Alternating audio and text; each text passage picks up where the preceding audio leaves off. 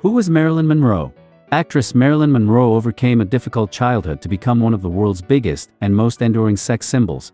Her films grossed more than $200 million. She is known for her relationships with Arthur Miller, Joe DiMaggio, and possibly President John F. Kennedy. Monroe died of a drug overdose on August 5, 1962, at only 36 years old. Have you got the nerve to stand there and expect me to believe that you don't want to marry my son for his money? It's true. Then what do you want to marry him for?